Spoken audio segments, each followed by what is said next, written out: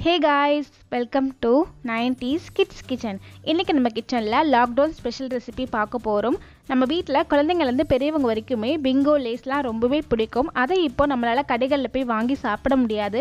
அதே சமயம் கடையில் வாங்கி சாப்பிட்றது நம்ம உடம்புக்கும் நல்லது கிடையாது. ஸோ அதே போல் ஒரு சிப்ஸ் ரெசிபியை இன்றைக்கி நம்ம வீட்டிலேயே செய்ய போகிறோம் ரொம்பவே ஈஸியாக ரொம்பவே சிம்பிளாக செஞ்சிடலாம். இது செய்யறதுக்கு ஒரே ஒரு முக்கியமான பொருள் தான் தேவை அரிசி மாவு.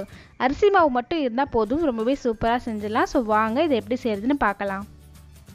ஃபர்ஸ்ட் ஸ்டவ்வை ஆன் பண்ணிக்கோங்க. ஸ்டவ்வை ஆன் பண்ணிவிட்டு ஒரு பேன் வச்சுருக்கேன். நீங்கள் நான்ஸ்டிக் பேன் எடுத்திங்கன்னா இன்னும் கொஞ்சம் ஈஸியாக இருக்கும். என்கிட்ட நான்ஸ்டிக் இல்லை ஸோ இந்த மாதிரி பேன் எடுத்துருக்கேன். அதில் ஒரு கப் தண்ணி சேர்த்துருக்கேன். தண்ணி சேர்த்துட்டு இதுக்கு தேவையான அளவு இந்த ஒரு கப் அளவுக்கு தண்ணிக்கு ஒரு கப் மாவு சேர்க்க போகிறோம் ஸோ ஒரு கப் மாவுக்கு தேவையான அளவு உப்பு சேர்த்துக்கோங்க. சேர்த்துட்டு தண்ணி வந்துட்டு கொதி வரட்டும். தண்ணி கொதி வந்ததுக்கப்புறம் இதில் ஒரு கப் அரிசி மாவு சேர்க்கலாம். நான் எந்த கப்பில் தண்ணி இழந்து எடுத்தனோ அதே கப்பில் ஒரு கப் அரிசி மாவு எடுத்திருக்கேன். நம்ம நார்மலாக வீட்டில் இடியாப்பம் கொழுக்கட்டைக்கெல்லாம் வச்சுருப்போம் இல்லையா? அந்த மாவு தான். அதை இப்போ இதில் சேர்த்துடலாம். சேர்த்துட்டு கிளறி விடுங்க. ஒரு ரெண்டுலேருந்து மூணு நிமிஷம் வந்துட்டு மீடியம் ஃப்ளேம்லேயே கலரி விடுங்க. தண்ணியோட அளவு வந்துட்டு ஒரு கப் தண்ணினா ஒரு கப் மாவு. அதுதான் சரியாக இருக்கும். ஸோ இந்த மாதிரி கிளறிட்டு இதை வந்துட்டு மூடி போட்டு ஒரு நிமிஷம் லோ ஃப்ளேமில் ரொம்பவே லோ ஃப்ளேமில் ஒரு நிமிஷம் மூடி போட்டு அப்படியே வச்சுடுங்க. ஒரு நிமிஷத்துக்கு அப்புறம் ஸ்டவ்வை ஆஃப் பண்ணிவிடுங்க ஸ்டவ்வை ஆஃப் பண்ணிவிட்டு இது கொஞ்சம் சூடாகட்டும் ரொம்ப சூடாகக்கூடாது ஒரு மிதமான சூடு வரட்டும்.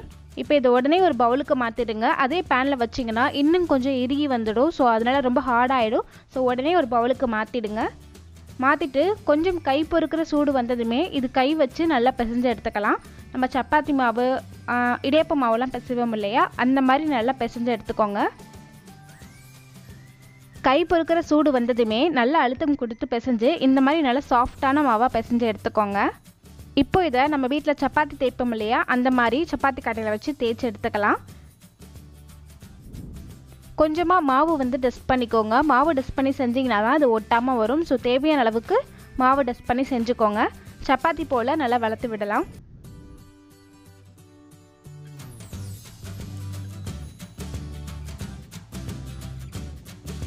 சப்பாத்தி போல் தேய்ச்சிட்டு ஓரங்கள் எல்லாத்தையுமே கட் பண்ணிவிடுங்க ஓரங்கள் எல்லாத்தையும் கட் பண்ணிவிட்டு இந்த மாதிரி நீள நீளமாக கட் பண்ணிக்கோங்க. ரிப்பன் மாதிரி நீள நீளமாக கட் பண்ணிக்கோங்க.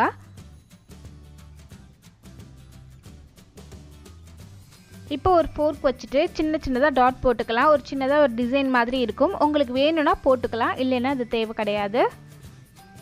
இந்த மாதிரி லைன் லைனாக வரி வரியாக இருக்கிற கத்தி வச்சு கட் பண்ணிக்கோங்க. அப்படி இல்லைன்னா பர்த்டேக்கு கொடுக்குற இந்த மாதிரி கத்தி வச்சு கூட நீங்கள் கட் பண்ணிக்கலாம். அப்போ தான் ஒட்டாமல் ஈஸியாக வரும். இப்போது ட்ரையாங்கிள் ஷேப்பில் எல்லாத்தையுமே கட் பண்ணி எடுத்துக்கோங்க. இப்போது இதே போல் எல்லா மாவையுமே சப்பாத்தி போல் தேய்ச்சி ட்ரையாங்கிள் ஷேப்பில் கட் பண்ணி எடுத்தாச்சு.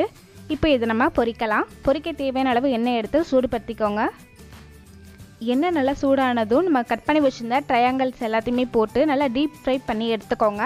கலர் வந்துட்டு பெருசாக எந்த சேஞ்சஸும் கிடையாது. ஏன்னா அதில் நம்ம எந்த மசாலா பொருட்களுமோ எதுவுமே சேர்க்கலை. ஸோ அதனால் இது பெருசாக கலர் எதுவும் சேஞ்சஸ் இருக்காது.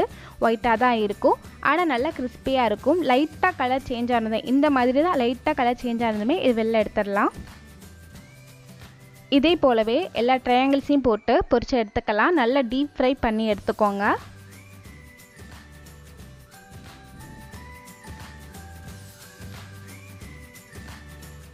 இப்போது சிப்ஸ் எல்லாத்தையுமே பொறிச்சு எடுத்தாச்சு. பாருங்கள் எவ்வளோ க்ரன்ச்சியாக இருக்குன்னு. இப்போ இதுக்கு தேவையான மசாலா பொருட்கள் நம்ம ரெடி பண்ணிக்கலாம்.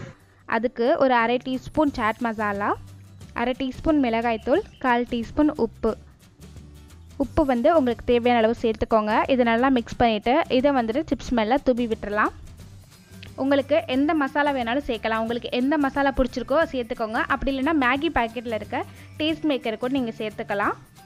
அவ்வளோதான் சூப்பராக சிப்ஸ் ரெடி ஆகிடுச்சு இது நம்ம கடைகளில் வாங்குகிற பிங்கோ லேஸ் போலவே ரொம்பவே சூப்பராக இருக்கும். ஸோ கண்டிப்பாக ட்ரை பண்ணி பாருங்கள் ட்ரை பண்ணி பார்த்துட்டு எப்படி இருந்துச்சுன்னு மறக்காமல் கமெண்ட்டில் சொல்லுங்கள் இந்த வீடியோ உங்களுக்கு பிடிச்சிருந்தா வீடியோவை லைக் பண்ணுங்கள் நீங்கள் இன்னும் நம்ம சேனலை சப்ஸ்கிரைப் பண்ணலைன்னா மறக்காமல் சப்ஸ்கிரைப் பண்ணுங்கள் கூடவே இந்த பெல்லைக்கானையும் கிளிக் பண்ணுங்கள் என்னோட இந்த பதிவை பார்த்ததற்கு நன்றி.